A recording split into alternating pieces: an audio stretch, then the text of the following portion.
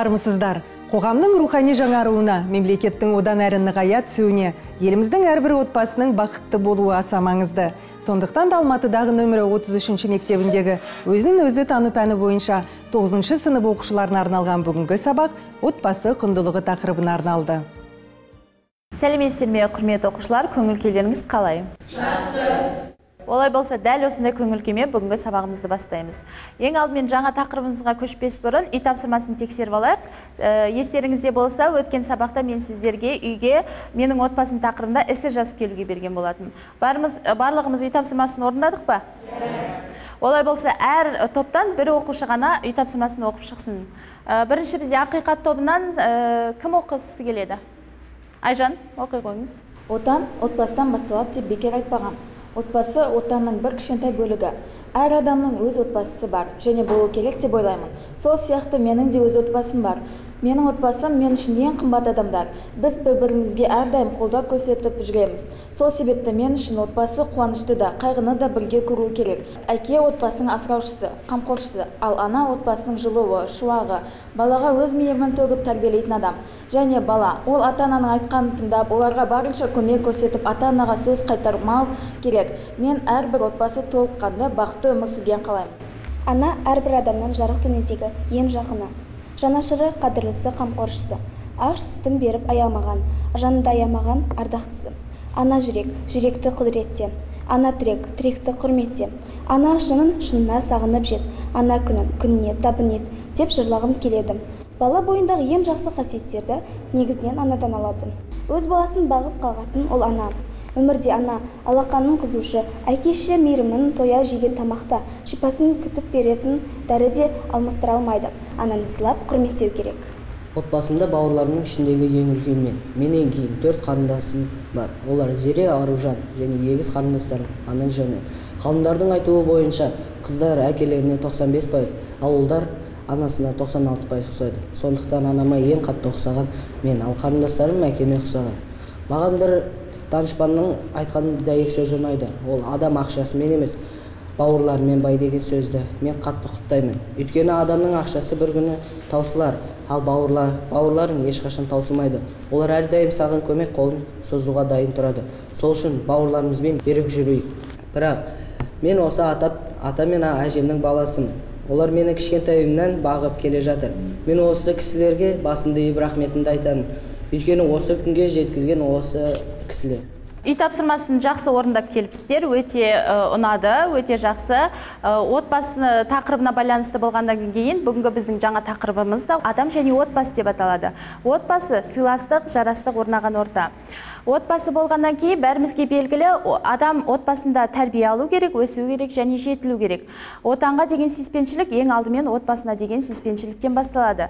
Олай болса келесі біздің кезеңіміз дәйек сөз кезеңі. Дәйек сөзге мен бауыржан момышұлы атамыздың сөзін алып отырмын. Ол отбасының өнегесі отан өнегесі дейді. Осы дәйек сөзді біз жалпы қалай түсінеміз? Менің ойымша бұл дәйек сөзде отбасы жайлы айтылған. Әрбір отбасы кішігірім мемлекеттің бөлшегі сондықтан әрбір адам бірінші өз отанына махаббат пен көңілін бөлу қажет. Содан соң өз мемлекетіне адал болу керек. Рахмет эмилия. Дәйек сөз мағынасын ашып бердің. Ә, олай болса бала үшін атана ол ә, үлгі өнеге көрсетуші ізгілік жасаушы және де ақыл кеңес беруші болып табылады. Олай болса бүгінгі тақырыпқа байланысты сіздерге шағын бейнефильм алып келдім. Соны бірге тамашалап ары қарай талқылайтын боламыз. Адам баласы шыр етіп дүние есігін ашқаннан бастап ата анасының мейірімі мен жылулығына бөленіп өсіп жетіледі. Кішкентайынан тұмсықтыға шоқыттырмай қанаттыға қақтырмай бар тапқанын баласының аузына тосатын ата ананың қадірін әр бала біле бере ме? Өзін өзі тану сабағы барысында тоғызыншы сынып оқушыларына бүгін көрсетілген шағын бейнекөрініс те осы жайында болды. Ал енді соқыр ана бейнефильмін көрдік енді осы бейнефильмнен қандай ой түйдіңіздер? Кім өз ойын айтып бергісі келеді? Біздің осы бейнероликтен түсінгеніміз анасы әрбір баласы өзінің баласының бақыты үшін анасы жан беруден де таянбайды. Ананың сыртқы бейнесі қандай болмасын ол баланы осы жарық дүниеге әкелген жан. Сондықтан ананы қадірлеу әрбір баланың міндеті. Анасының әрбір күнін қуанышқа бақытқа толтыру баланың міндеті деп есептеймін. Біз бұл бейнероликтен ата ананың әрқашанда баласы үшін әрқашанда махаббатын дайын тұратыны әрқашанда өзінің жанын беруге дайын тұратынын біле аламыз. Осылайша ананың балаға деген махаббатын көре аламыз. Бірақ кейде баланың ата анасына деген махаббатының барлық берген тәрбиесін сыйламауын көреміз. Ең басында кішкентай балаға өзінің махаббатын білдіріп егер де барлық тәлім тәрбиені барлық ақыл кеңестерді білдірсек кейін бала өзінің ата анасына деген үлкен құрмет үлкен сыйластық білдіре алатынын білеміз. Ана ол біздің өміріміздің мәні болғандықтан біз анадан ұялмауымыз керек. Ананың әрбір іс әрекеті біз үшін жасалғандықтан бізге арналғандықтан біз анаға деген ата анаға деген өзіміздің махаббатымызды білім алу арқылы өзіміздің сыйластығымыз арқылы дәлелдеуіміз қажет.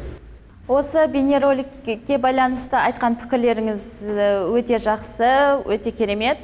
Біз әрқашанда отбасы болғаннан кейін отбасындағы бала болғаннан кейін анамызға ата анамызға әрқашанда сүйіспеншілікпен қарап оларға мейірімді бола отырып аса қамқорлықпен бір бірімізді түсінісе білгеніміз жөн. Енді ә, келесіде біз қазір ә, шағын ойын ойнаймыз. Ол үшін маған әр топтан екі екі оқушыдан керек. Ойынымыздың аты отбасы деп аталады. Енді ойын шартымен ә, сіздерді таныстыра кетейін. Сіздерге әріп беріледі. Сол әріптен басталатын менің сұрақтарыма сіздер жауап берулеріңіз қажет. Отбасы құндылығын атам. Татулық. Бірлік ақиқат сүйіспеншілік ынтымақ. Отбасындағы менің міндетім. Оқу. Тәрбие алу. Білім алу. Анама көмектесу сыпайы болу ыдыс жуу отбасы шағын мемлекет болса оның ә, басшысы кім? Отағасы. Тәтем. Бауырым. Ата. Сіңілім. Ыбырай. Бақытты отбасы ол. Отағасы билеген отбасы. Тату отбасы.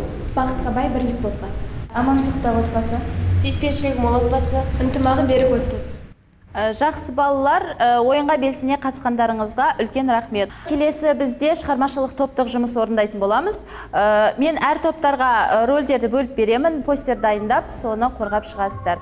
Бүгінгі сабақ барысындағы мақсат балалардың отбасы құндылықтар жайлы түсініктерін кеңейте отырып олардың бойында мейірімділік қамқорлық сияқты қасиеттердің түп қазығын орнату.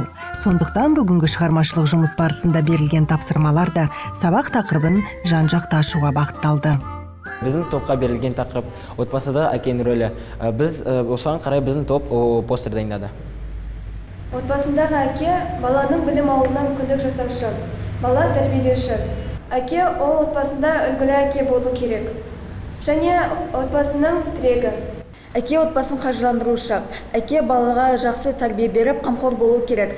Отбасындағы әкенің рөлі өте маңызды. Өйткені отбасындағы балалардың барлығы әкеге қарап өседі.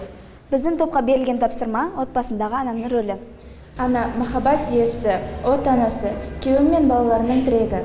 Ана ана өмірдің мәні тіршіліктің басы отбасының жанашыры балаларының қамқоршысы. Біздің топқа отбасыдағы баланың рөлі туралы постер жасауға берді. Отбасыдағы баланың рөлі ол ата анасының үмітін ақтау сабақты оқу өскенде ата анасының қамқоршысы болу. Бала ата анасына қамқоршы болу үшін болашағын жоспарлап көп еңбектену керек. Жақсы балалар ә, біз өзіміздің отбасындағы ер адамның әйел адамның және баланың рөлі мен міндеті туралы жүрек түкпірімізде жатқан ә, ойымызды ә, қозғадық. Егер біз ә, өзіміздің ә, табиғатымыздан берілген жақсы қасиеттерімізді сол отбасында үйлестіретін болсақ біз әрине жан жақты дамыған ә, осы өмірде өзіміздің орнымыз бар тұлға болып қалыптасатынымыз анық. Егер адам жаны тыныш болса онда отбасында тыныштық болады. Ал егер отбасында тыныштық болса онда мемлекетте тыныштық болады. Ал егер мемлекетте тыныштық болса онда бүкіл әлемде тыныштық болады. Балалар отбасымыздағы жақын адамдарымызға мейіріммен қарап оларға қамқор бола отырып бір бірімізді түсінісе білейік. Отбасымыз сүйіспеншілікке толы болсын деп сабағымызды әсем әуенмен қорытындылаймыз. Анашым